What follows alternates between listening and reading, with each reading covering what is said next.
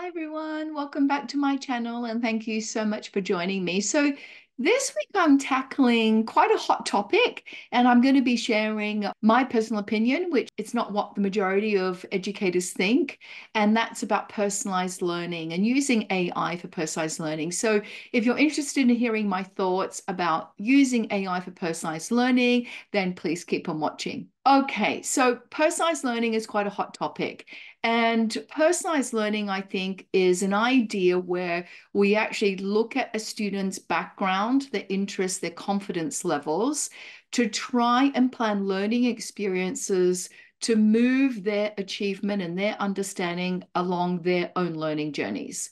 And so, while I think it's very admirable that we're trying to move individual students according to where they are in the learning journey, I think that personalized learning is sometimes just glorified, individualized learning. The beauty of school and classrooms is that it's a social construct where everybody gathers and there is excitement and exchange of different ideas that actually move learners along their journey in a more engaging, exploratory, and fun way.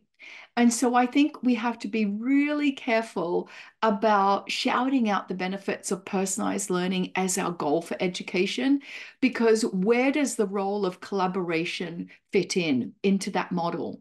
Where does the value of exchanging ideas, working on group projects, and communicating with different people in the classroom, how does that fit in to the personalized learning model?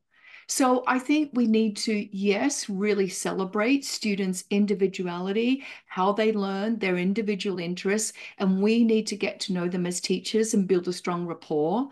However, in the classroom, we want a dynamic social environment where we're bouncing ideas from each other and through dialogue and deep discussions and debates, we're really forming our own understandings of different conceptual ideas. Now, I'm a huge proponent of social constructivism.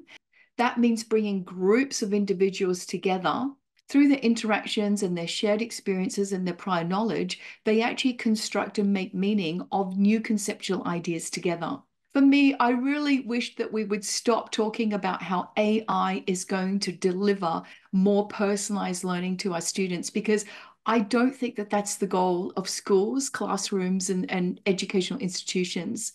It's actually not to deliver individual content and material, but AI can help give us wonderful ideas to still adopt social constructivism, inquiry based learning, and a focus on deep conceptual understanding.